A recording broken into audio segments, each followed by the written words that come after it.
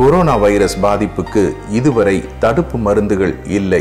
அதற்கு மருந்து கண்டுபிடிக்க உலக நாடுகள் தீவிரம் காட்டி வருகின்றனர். பிளாஸ்மா தெரபி எனப்படும் குருதி நீர் சிகிச்சையும் இப்பொழுது சோதனை அடிப்படையில் மேற்கொள்ளப்படுகிறது. குணமடைந்தவர்களின் இரத்தத்திலிருந்து பிளாஸ்மாவை பிரித்தெடுத்து அதனை கொரோனா நோயாளிகளுக்கு செலுத்தும் முறைதான் இந்த பிளாஸ்மா தெரபி. வணக்கம்.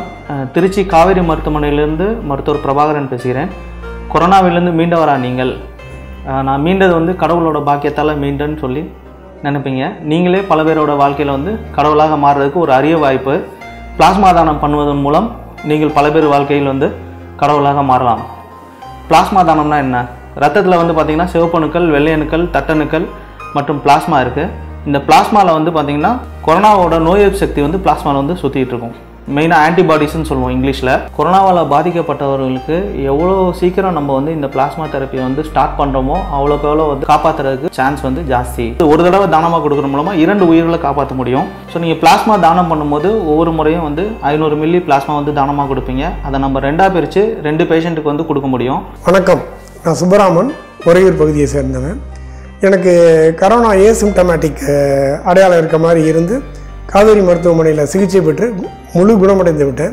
எந்தவித பிரச்சனையும் இல்லை இப்போ இந்த கொரோனாவுக்கு சிகிச்சைக்கு ஒரே தீர்வாக இப்போ காணப்படுறது என்னன்னா பிளாஸ்மா சிகிச்சை. மருத்துவமனையில் வாடிக்கொண்டிருக்கும் பல்லாயிரக்கணக்கானவர்களுக்கு உதவுவதற்கு கொரோனாவிலிருந்து முழுமையாக குணமடைந்தவர்கள் இந்த பிளாஸ்மா தானம் செய்து அவர்களின் உயிரை காப்பாற்ற வேண்டும். கொரோனா ட்ரீட்மெண்ட்டுக்கு பல மருந்துகள் வந்து இன்னும் வந்து ரிசர்ச் ஃபேஸில் தான் இருக்குது இன்னும் கொரோனாக்கு வந்து க்யூர் வந்து இன்னும் கண்டுபிடிக்கல. கொரோனாவிலேருந்து மீண்டவர்கள் வந்து டிஸ்சார்ஜ் ஆனதுலேருந்து பதினாலு நாள் கழித்து இந்த பிளாஸ்மா தானம் வந்து கொடுக்க ஆரம்பிக்கலாம். நிறைய பேருக்கு வந்து ஒரு சின்ன பயம் இருக்கும். இப்போ நம்ம வந்து திரும்பவும் வந்து பிளட் பேங்க் போகும்போது ஏதாவது ப்ராப்ளம் வருமா? நம்ம இப்போ தான் வந்து மீண்டு வந்திருக்கிறோம். திரும்பவும் நம்ம போய் வந்து கஷ்டப்படணுமா அப்படின்ற எண்ணம் இருக்கும். நீங்கள் படுற அந்த ஒரு கால் நேரம் அரை மணி நேரம் கஷ்டத்தில் வந்து ரெண்டு குடும்பத்தில் வந்து நீங்கள் வந்து ஒரு அப்பாவையோ ஒரு அம்மாவையோ ஒரு குழந்தையோ உங்களால் மீட்டு கொடுக்க முடியும். என்னோட குடும்பத்தில் யாராவது கொரோனாவால் அஃபெக்ட் ஆகியிருந்தால் கூட என்னால் காப்பாற்ற முடியுமானா கண்டிப்பாக முடியாது. கொரோனாவால் அஃபெக்ட் ஆகி ரெக்கவர் ஆகியிருந்தால் தான் காப்பாற்ற முடியும்.